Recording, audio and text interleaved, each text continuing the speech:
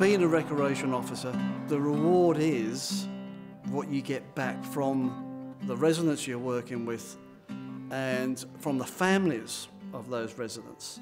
I, for one, couldn't get on without John.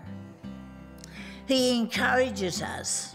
Over the last year, we've accomplished four eight metre long murals. We've also got another one underway which actually goes up the wall and across the ceiling. We've also got the real large one outside in St Vincent's. So that's six major projects. It means a lot to me to get together with my friends and we enjoy the painting and we enjoy each other's company as well. You're allowing someone to relax and their mind to relax. It's just incredible therapy. It's proved itself over and over again. When it comes to these projects, it isn't me and it isn't one of them.